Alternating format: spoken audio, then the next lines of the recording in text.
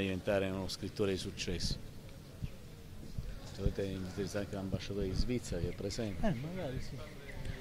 Allora, eh, innanzitutto grazie per essere qui a Manfredoni e grazie per essere per la prima volta ai nostri microfoni l'Avvocato Padroni Griffi che eh, è il presidente dell'autorità portuale di sistema. Un'autorità portuale di sistema che eh, per essere partorita ha avuto bisogno di tanta eh, reazione, di concertazione tra i vari soggetti che chiaramente ritenevano di essere ognuno importanti per una loro peculiarità, però stare insieme è fondamentale.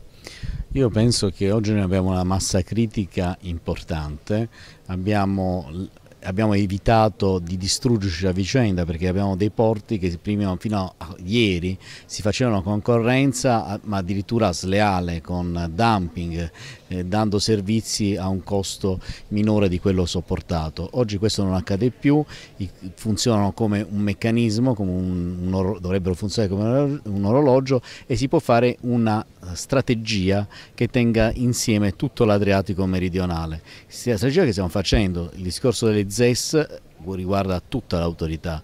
Il discorso del corridoio 8, del recupero del corridoio 8 e quindi verso Burgas nel Mar Nero riguarda tutta l'autorità.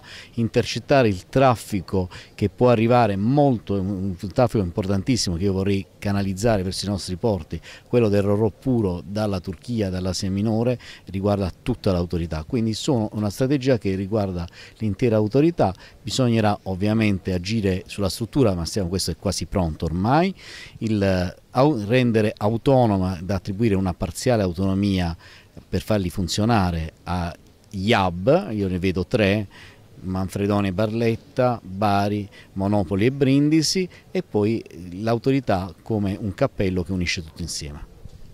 Qualsiasi persona nel momento in cui ha dei problemi nel campo del diritto amministrativo si rivolge a lei per un parere, per risolvere un problema perché lei è eh, forse uno dei massimi rappresentanti del diritto amministrativo.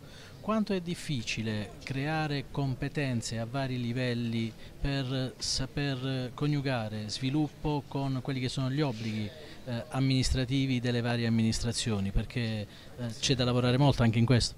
Allora io invito tutti coloro che hanno avuto la fortuna, come l'ho avuta io, di poter acquisire delle competenze di pensare al territorio, di mettersi al servizio del territorio, magari di prendersi un anno sabbatico dalle, dalle proprie attività, di ridurre il proprio impegno, per me è stato necessario ridurre l'impegno per esempio nell'università, eccetera, per cercare di dare una mano, perché chi ha acquisito le competenze non può rimanere inerte rispetto al grido di dolore del nostro territorio che ha perso 13 punti di PIL dall'inizio della, della, crisi e PIL, questo PIL va recuperato ora che si vede una uscita dal tunnel della recessione.